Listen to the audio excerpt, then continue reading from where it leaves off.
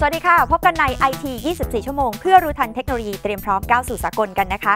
ทวีปเอเชียได้ถูกจัดอันดับโดยบริษัทวิจัยหลายแห่งค่ะ ให้เป็นภูมิภาคที่มีการเติบโตของการใช้สมาร์ทโฟนสูงที่สุด และจากการสำรวจก็พบว่าประเทศไทยที่มีประชากรราวๆ 64 ล้านคนเนี่ยนะคะ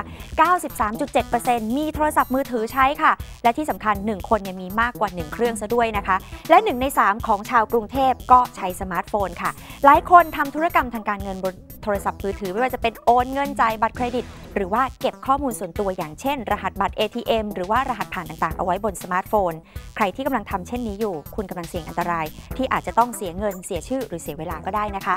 ในงานคิดก่อนคลิก Cyber Security มหันตภัยปลายนิ้วที่สำนักงานกสทชเขาจัดขึ้นมา เพื่อที่จะเผยแพร่ความรู้ความเข้าใจเกี่ยวกับมหันตภัยบนโลกออนไลน์หนึ่งในภัยที่เราขอยกมาพูดถึงในวันนี้ก็คือ identity theft ค่ะ ก็คือการที่คนร้ายสวมรอยเป็นคุณ แล้วก็แอบเอาข้อมูลส่วนตัวของคุณไปใช้ ราวกับว่าเป็นตัวคุณเอง ไม่ว่าจะเอาไปเปิดบัญชีธนาคารทำบัตรเครดิตทำธุรกรรมการเงิน แต่ที่แย่ที่สุดก็คือเอาชื่อไปก่ออาชญากรรม เรื่องแบบนี้เกิดขึ้นหลายครั้งแล้วด้วยนะคะ ที่ทำได้ก็เพราะว่ามีข้อมูลของตัวจริงทุกอย่าง ซึ่งบ่อยครั้งเจ้าตัวนี่แหละค่ะ เปิดช่องให้ขโมยพวกนี้ได้ข้อมูลไปง่ายๆ ที่เราลืมนึกถึงไปก็อย่างเช่น เปิดเผยข้อมูลส่วนตัวมากมายบนโซเชียลเน็ตเวิร์กหรือว่าเก็บเบอร์โทรที่อยู่รหัสผ่าน ATM บัตรเครดิตความลับต่างๆ เอาไว้ในสมาร์ทโฟน หรือว่าไปโหลดแอปแปลกๆ ที่เข้าถึงส่วนต่างๆ ของมือถืออย่างเช่น รายชื่อเบอร์โทรศัพท์ได้ หรือไม่ได้ตั้งค่า lock screen เอาไว้ ถ้ามือถือถูกขโมยข้อมูลสำคัญที่เก็บไว้ก็ถูกนำไปใช้ได้ทันที และที่เจอบ่อยๆ ก็คือ เวลาที่เอามือถือไปซ่อม แล้วไม่ได้ลบข้อมูลสำคัญบนมือถือออกก่อน อันนี้อันตรายนะคะ แต่เขาวงเล็บไว้ว่าต่อให้ลบไปแล้วก็ยังมีวิธีกู้คืนมาได้อยู่ดีละค่ะ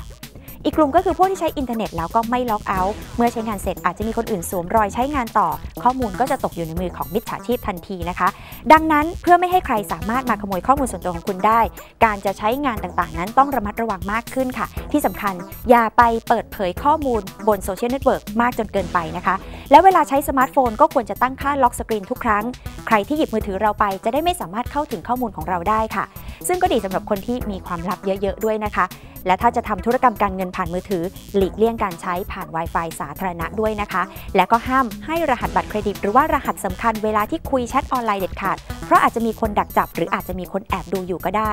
ภัยบนโลกออนไลน์ยังมีอีกหลายอย่างนะคะ ซึ่งสิ่งที่เราทำได้ดีที่สุดก็คือการป้องกันตนเองค่ะ เพราะว่าความเสียหายต่างๆ ที่เกิดขึ้นนั้นอาจจะมากกว่าที่คุณคิดก็ได้นะคะ รายละเอียดต่างๆ ติดตามกันได้ในเว็บไซต์ที่ขึ้นอยู่นี้นะคะ สวัสดีค่ะ